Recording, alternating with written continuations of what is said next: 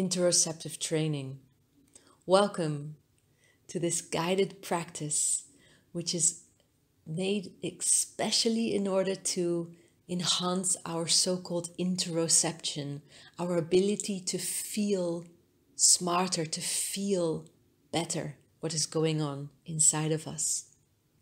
Not only does this type of training lead to a so called greater emotional intelligence, it also leads to the ability to make much more smarter decisions. Because when we make decisions not only from our mind, but actually from the deeper layers of our being, they tend and they actually are, science affirms this, much more aligned with our truth. So let's dive right into it. In this interoceptive training, we're going to use a technique called felt sensing. So I invite you to find a comfortable position, maybe leaning back against a couple of pillows. And you can take a deep breath, extending the exhalation. And as you breathe out, closing the eyes. And now, with our eyes closed, let's start with becoming aware of the breath. Maybe first just becoming aware of if the belly is moving in and out as we breathe. Try not to change anything, just bringing that initial awareness. How are we breathing right now? Can we actually feel how we're breathing right now?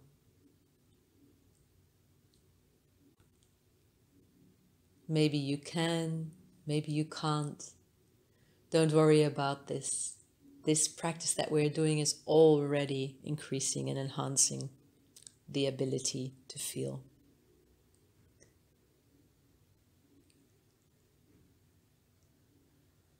So let's guide the breath a few times, bringing ourselves more and more inside. Let's inhale and imagine our breath going all the way down into the tips of our toes. Letting the breath gently caress the tips of the toes before we exhale all the way up and out again. Beautiful. And now let's do the same, but for the tips of our fingers. Inhaling deeply, imagining that breath is going all the way down into the tips of our fingers, caressing them with the breath, and we exhale up and out.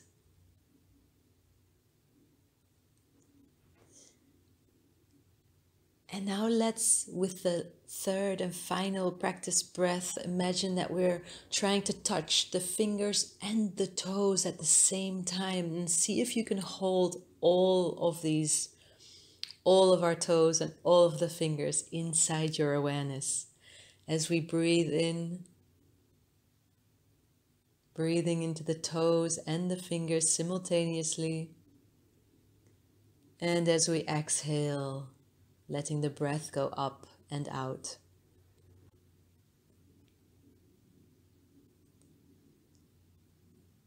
And now I would like to invite you to tune into the body and see if there's any area in the body that feels sore or stiff or maybe even painful right now. And this is actually a question that you can just ask your body. If it's very hard to feel anything, just ask the body Is there any area right now that you want to show me?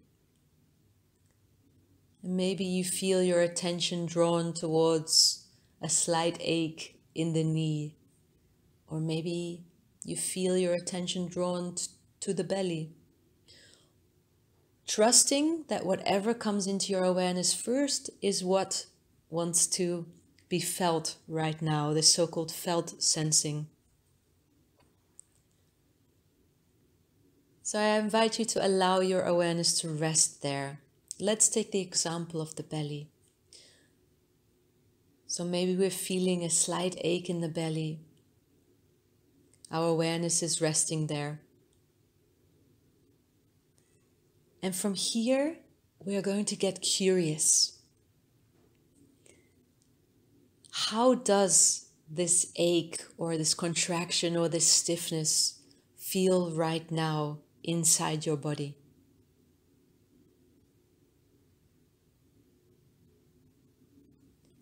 Does it have a color? And again, trusting the very first answer that you get, if you get any. If the very first color that enters your mind is red, then go with that. It doesn't have to be logical because this is something is not part of the mind. We're now actually connecting with the body, and the body has a different way of communicating. So, what color does this area of contraction, stiffness, pain, ache, what color does it have, if any? If no color comes into your awareness, don't worry. Then it might be colorless.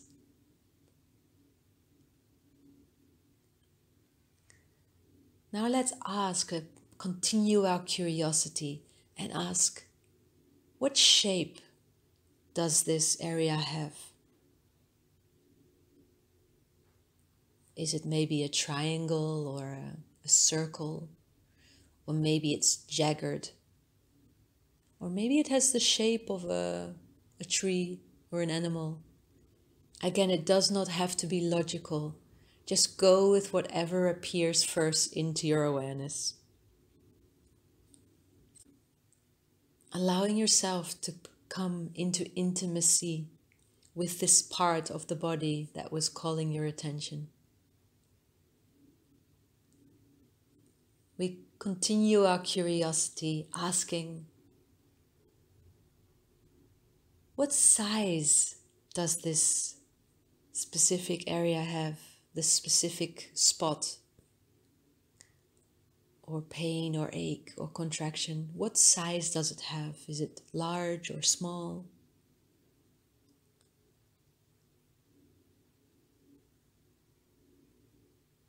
Allowing the answer to come into your awareness and continuing what temperature does this area of attention have?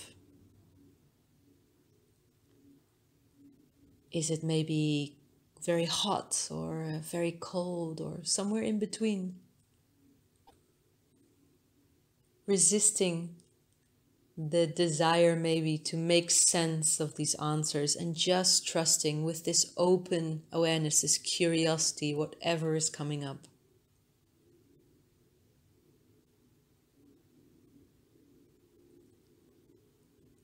And now we're going to ask this area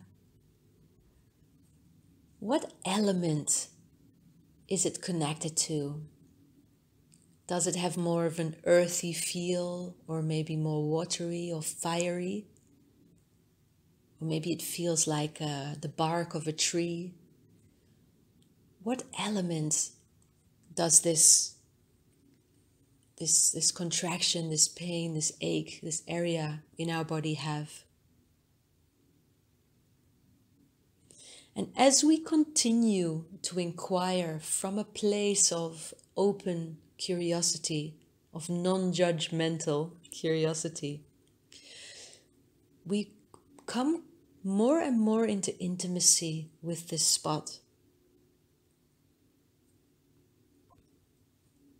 And you may actually start realizing that the feeling that it had before Maybe it was some really persistent ache that had been there for a while, or maybe it felt very distant and far away, and now it feels very close and clear.